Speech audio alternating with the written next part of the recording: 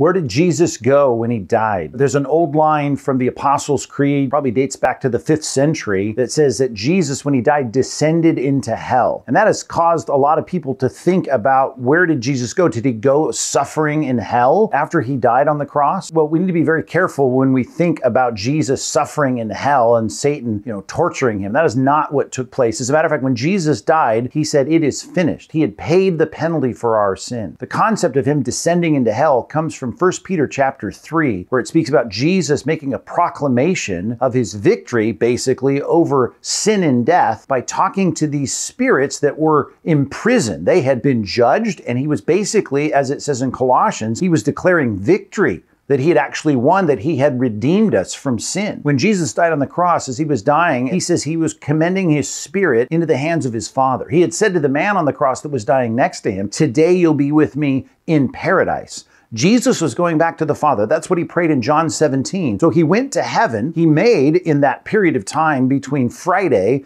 and Sunday morning, some kind of appearance or some kind of proclamation to the spirits that were condemned in hell. There's nothing wrong with that concept, but don't think about Jesus descending into hell to be punished for our sins. He was punished for our sins on the cross. So when Jesus died, he went to the right hand of the Father.